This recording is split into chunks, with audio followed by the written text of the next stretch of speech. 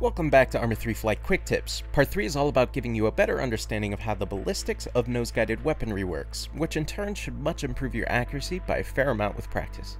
When you plan to shoot any sort of ordnance from nose-guided weapon systems, you'll need to understand that any lateral movement from the helicopter's nose is also going to give inertia to the rocket's flight path. In layman's terms, depending on the direction you're flying, you're almost throwing the rocket a little in front or behind your crosshair.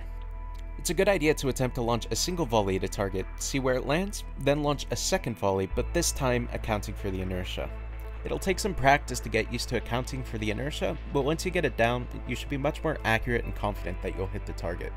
I'm going to show you a clip of gameplay of me on the 161st public server. I'll then play it back a second time with narration walking through my mindset.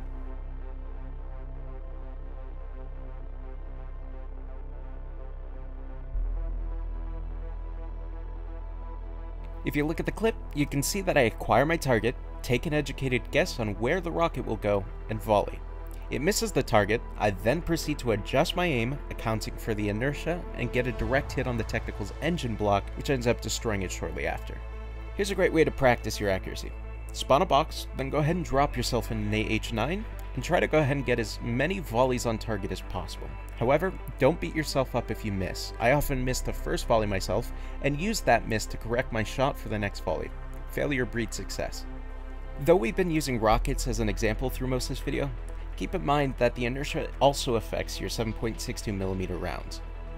Hopefully this gives you some food for thought, and though this should give you a better understanding of how the ballistics work in Arma 3, consistent practice will always be a surefire way to get better. Feel free to send me any topics you want me to cover in 4 minutes or less. I plan for almost all my flight quick tips to be your suggestions, and as always, thank you for finding your way to Patchwork HD Gaming.